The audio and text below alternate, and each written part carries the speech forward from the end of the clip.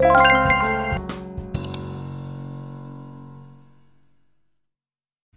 please start your day with the Word of God. Today, God's message is in Matthew 8:13. Then Jesus said to the officer, Go home. You believe that I would make your servant well again, so I will do it for you.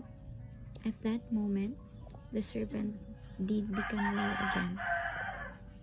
Matthew 8:13. So yes, indeed God is good to all of his creation. Um last few months, as everyone knows, I go through a lot. Health issues, trust issues, past trauma syndrome. Thank God.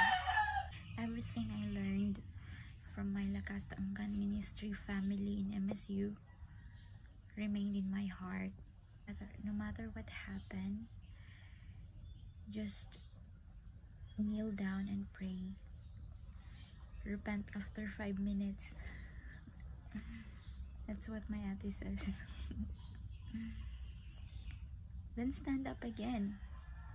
For God's grace is sufficient in all our weakness. I prayed. I cried a lot to God. I cannot do it all alone without His help. I just believe that He is with me. And faith that can move mountains was the word Kuya Bonnie taught us there. And it goes in my mind and in my heart like a spiral. Thank you for that word, Lord God Almighty. Thank you so much.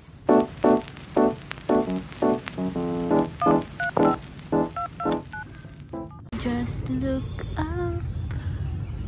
Just look up for our Heavenly Father, Sovereign Lord God Almighty, is always watching over us.